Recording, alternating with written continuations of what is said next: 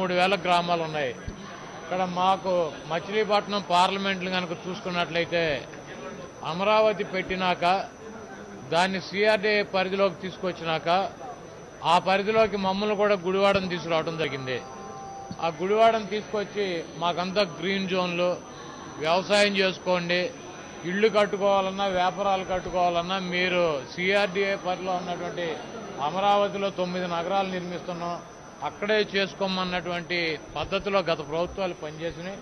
కాబట్టి ఆ సిఆర్డిఏ పరిధిలో నుంచి మా మచిలీపట్నం పార్లమెంట్లో ఉన్నటువంటి ఏడు నియోజకవర్గాలని తొలగించాలని చెప్పి దాన్ని ముడా పరిధిలోకి మచిలీపట్నం పరిధిలోకి తీసుకురావాలని చెప్పి కూడా నేను నా రిక్వెస్ట్ చేయడం జరిగింది. అదేవిధంగా మచిలీపట్నంలో ఉన్నటువంటి పోర్టు గతంలో పది సంవత్సరాల నుంచి నిర్మిస్తామని చెప్పి కళ్ళబొల్లి కబుర్లే చెప్పారు కానీ ఇంతవరకు కార్యరూపణ దాల్చలేదు. దా- దానికి మచిలీపట్నంలో పోర్టు నిర్మాణానికి నాలుగున్నర ఐదు వేల కోట్ల రూపాయలు ఖర్చు అవుతుందన్నారు.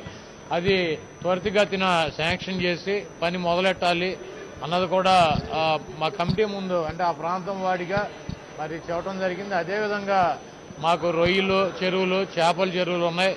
మాకు ఆక్వాకు సంబంధించినటువంటి వ్యవసాయానికి సంబంధించినటువంటి పరిశ్రమలు కూడా మా మచిలీపట్నం పార్లమెంటు పరిధిలో నెలకొల్పాలని చెప్పి ఎందుకంటే ఒక పక్కనే పోర్ట్ ఉంటుంది ఒక పక్కనే ఎయిర్పోర్ట్ గన్నవరంలోనే ఎయిర్పోర్ట్ ఉన్నటువంటి పరిస్థితి ఉంది. విజయవాడలో రైల్వే స్టేషన్ కానివ్వండి లేకపోతే మచిలీపట్నం నుంచి బాంబే వెళ్ళేటువంటి హైవే కానీ లేకపోతే టూ వన్ ఫోర్ కత్తిపూడి నుంచి ఒంగోలు మద్రాసుని కలిపేటువంటి హైవే కానీ ఇవన్నీ కూడా ఉన్నాయి. కాబట్టి మా ప్రాంతంలో కనుక పరిశ్రమలు పెడితే వ్యవసాయ ఆధారిత పరిశ్రమలు ఆక్వా ఆధారిత పరిశ్రమలో ఎక్స్పోర్ట్ కానివ్వండి ఇంపోర్ట్ కానివ్వండి షిప్ యార్డ్ ఉంది ఎయిర్పోర్ట్స్ ఉన్నాయి ఇవన్నీ కూడా రోడ్స్ ఇవన్నీ ఉన్నాయి బాగుంటుంది. కాబట్టి దీన్ని కూడా పరిగణలో తీసుకోమని చెప్పి ఆ కమిటీలో చేయడం జరిగింది. ఆ ఇరవై తొమ్మిది గ్రామాల్లో రైతులు ఇచ్చినటువంటి పొలాలు మరి ప్రభుత్వానికి వాళ్ళు చాలా ఎక్కువ ఆశించి అంటే అక్కడ బాగా అభివృద్ధి జరుగుతుంది. ఆ రేట్లు బాగా పెరుగుతాయి ఎకరం పది కోట్ల రూపాయలు అవుతాయని చెప్పి వాళ్ళు ఆశించి ఇచ్చారు చంద్రబాబు నాయుడు కళ్ళబొల్లి మాటలు చెప్పి సాధ్యం కాని అన్ని గ్రాఫిక్స్ రూపంలో చూపించి వాళ్ళను మధ్యపెట్టి మోసం చేసినటువంటి మోసగాడు. ఈ రోజు కూడా అక్కడ ఉన్నటువంటి రైతాంగం కానీ వీళ్ళందరూ చంద్రబాబు లాంటి మరి అబద్ధాలు చెప్పి సొల్లు కబుర్లు చెప్పేటువంటి వ్యక్తులు జేఏసీ అని ఒకటి ఫామ్ చేసి మరి దాంట్లోనే నడుపుతున్నారు. కాబట్టి దీన్ని ప్రభుత్వం కూడా పరిశీలించాలి.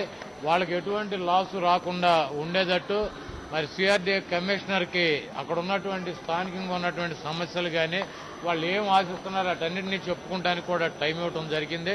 మరి ఈ సిఆర్డీఏ పదిహేడో తారీఖు మళ్ళీ మీటింగ్ జరుగుతుంది మా మీటింగ్ ఈ లోపు.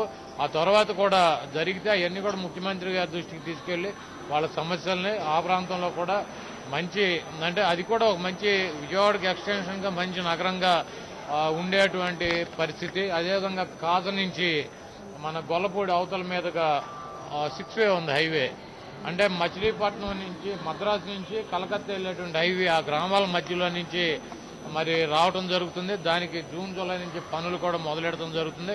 కాబట్టి ఇవన్నీ కూడా రకరకాలుగా చర్చించడం జరిగింది. నా ప్రాంతానికి సంబంధించి మచిలీపట్నం పార్లమెంట్కి సంబంధించి మేము ఈ సలహాలు ఇలా చేస్తే బాగుంటుందని చెప్పి ముఖ్యమంత్రి గారి దృష్టికి తీసుకెళ్ళమని చెప్పి కూడా నేను నా ప్రాంతవాసిగా చెప్పాను. అదేవిధంగా రాజధానిలో కానీ ఇతర ప్రాంతాల్లో కానీ అనేక రకాలైనటువంటి సలహాలు సూచనలు ఇవ్వడం జరిగింది. వాటన్నిటిని కూడా ప్రభుత్వం మరి పరిగణలోకి తీసుకుని ఒక నిర్ణయానికి వస్తుంది సార్ రోజుకో జిల్లా వెళ్తున్నారు చంద్రబాబు. జోలే పట్టుకొని విరాళాలు సేకరిస్తున్నారు.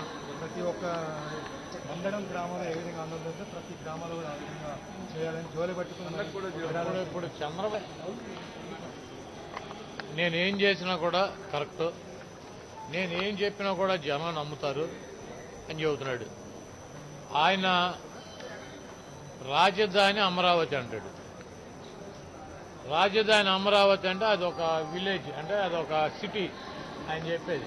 మళ్ళీ మైకు తీసుకుని అంటాడు మందడం గ్రామం అంటాడు తుళ్ళూరు గ్రామం అంటాడు వెంకటాయపాలెం అంటాడు ఈ ఇరవై తొమ్మిది గ్రామాల పేర్లు చెప్తాడు. జగన్మోహన్ రెడ్డి గారు మూడు రాజధానులు చేస్తాం కరెక్టా తమ్ముళ్ళు అని అడుగుతాడు. మళ్ళీ ఇరవై తొమ్మిది గ్రామాల పేర్లు చెప్తాడు ఈయన. ఈయన ఇరవై తొమ్మిది గ్రామాలను రాజధానులు చేశాడు. కాబట్టి చంద్రబాబు నాయుడు డెబ్బై సంవత్సరాల వయసులో జగన్మోహన్ రెడ్డి గారి దెబ్బకే ముష్టి ఎత్తుకునేటువంటి ముష్టివాడి పాత్రలో కూడా వెళ్ళిపోయాడు.